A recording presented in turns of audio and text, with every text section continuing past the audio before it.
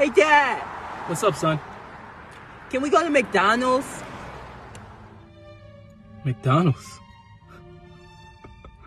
I've been waiting to use this phrase all my life.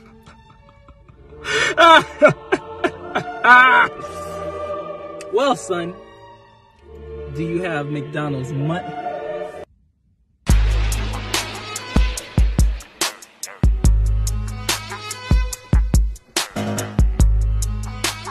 304,000, 305,000. Uh, what you say?